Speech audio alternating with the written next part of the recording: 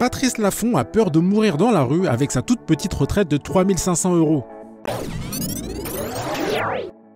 Patrice Laffont est-il ruiné ou trop dépensier?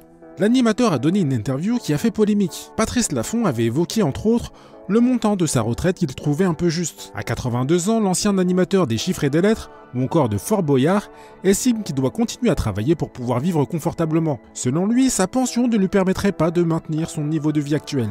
Il dira, je cite, Je gagne ma vie parce que je travaille. J'ai une toute petite retraite. Le jour où je ne travaillerai plus, il n'y aura plus les chiffres et des lettres ou le théâtre. Je serai un peu dans la merde. C'est comme ça. J'ai 82 ans, ce n'est pas grave. Je mourrai peut-être dans la rue. Il ajoutera ensuite En plus, je n'ai pas le sens de la possession. Je n'ai rien acheté.